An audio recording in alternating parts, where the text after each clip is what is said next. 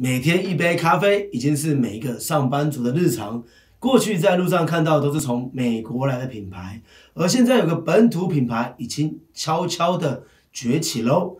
到底是何方神圣？它如何从一个巷弄外带店发展成街边店？今天跟大家分享台湾咖啡品牌路易莎的故事。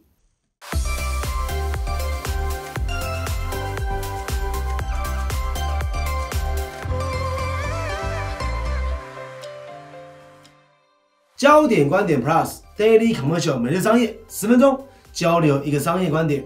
我是阿峰。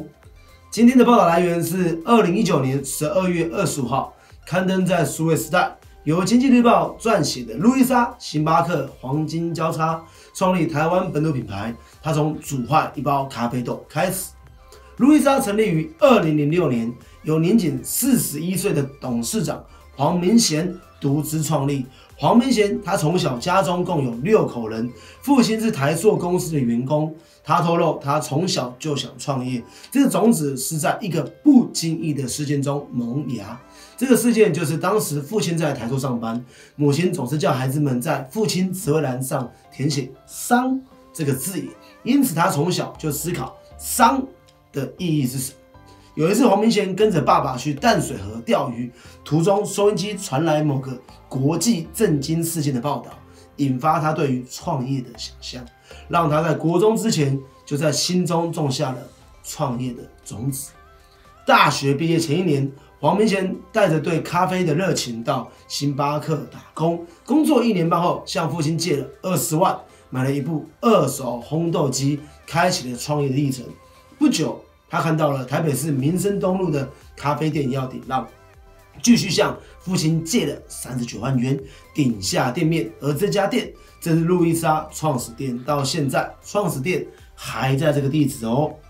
路易莎咖啡以本土小型连锁通路之姿，在几年内通路数暴增，来到将近五百家，在台湾甚至超越龙头星巴克。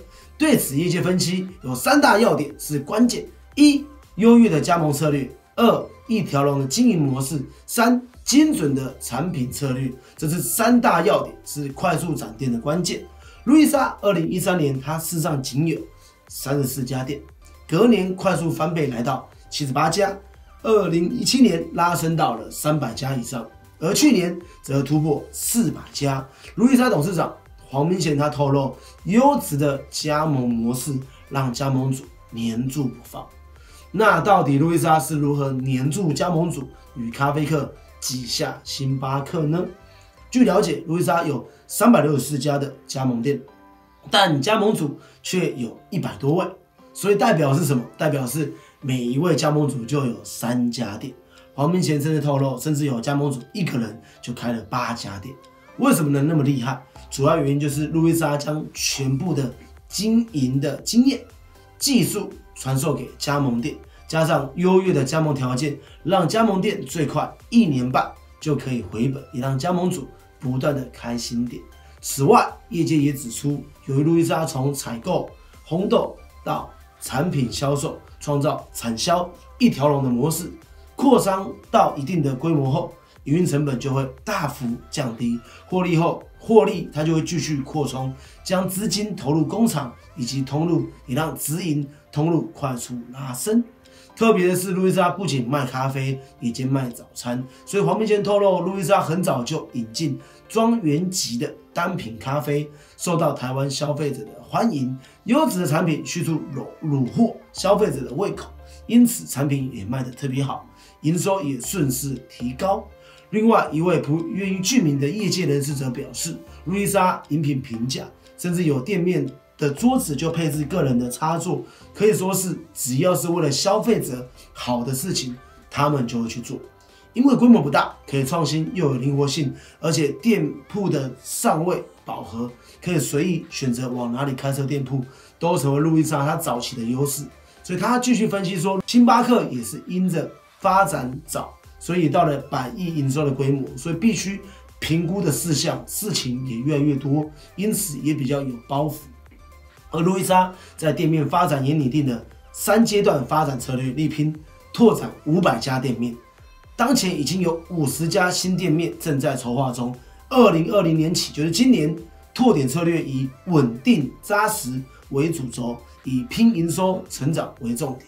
所以在发展策略上，黄明贤表示，在二零零零六年就是第一阶段，主要就是以巷弄中的外带店为主。二零一五年五月开始扩大转型，第一百家连锁门市落脚在天母，是第一家街边店。二零一七年十月迈入第三阶段，定位为全方位生活的店型，结合城市的在地文化，具有文化内涵的店面为主轴。所以最后，路易莎二零二零年的目标是要冲到五百四十家店，明年就要拼挂牌。在店面开展规划方面，目前全台路一家总共有四百八十九家，其中一百二十五家是直营，三百六十四家是加盟。直营门市基本上都是百平以上的大店，而现在已经筹划当中有五十个门市将分布在全台湾，预计今年二零二零结束。全年门市数量将成长到五百四十家左右，而董事长他也期许二零二零年中公开发行，年底新贵，而二零二一就要拼挂牌。而面对小老弟标速开店，星巴克则表示，按照既定的扩张计划，两家品牌定位不同，对于竞争品牌则不评论。不过若单以店面数来比较，路易莎逼近五百间，已经正式的。超越了星巴克。若比较两家营收，那星巴克营收一百一十亿元称霸，大幅领先所有咖啡连锁通路，也是路易莎的三倍之多。换言之，星巴克单店的平均营收推估就要近两千三百万元，遥遥领先路易莎的八百二十万元。短期内要超越仍有困难度。好的，今天的美丽商业就到这边。土生土长路易莎咖啡，靠着一个小时候的创业梦，一步一脚印的从小做起。没想到，因为一开始对于一家店的设定规模不大，并且搭配创新以及灵活性高等特质，反倒了路易莎的成功关键及优势。听到这边，有没有唤醒你觉得你不可能，但却有可能沉睡的创业梦呢？最后，想邀请每一位对新创、商业、科技有兴趣的朋友们，欢迎点击资讯栏连接，加入焦点观点 Plus 社团，让我们一起讨论世界商业生态。焦点观点 Plus Daily Commercial 每日商业十分钟交流一个商业观点，我们下次见，拜拜。